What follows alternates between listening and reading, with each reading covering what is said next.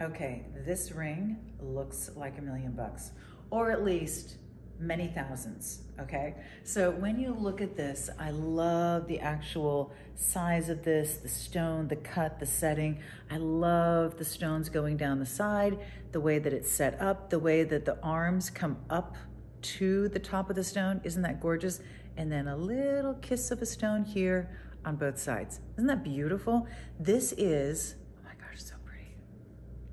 the perfect ring for you to live in. I absolutely love it.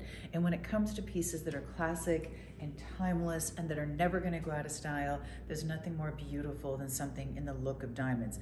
This one is actually gonna be in CZ's. I think they did a phenomenal job with it. I love having something that I can wear whenever I want, no matter how dressy or how casual.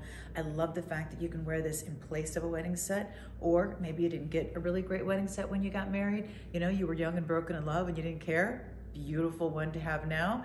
You can put diamond bands with this, you can put other gemstone bands with this, but this is one of those rings that is just the perfect size.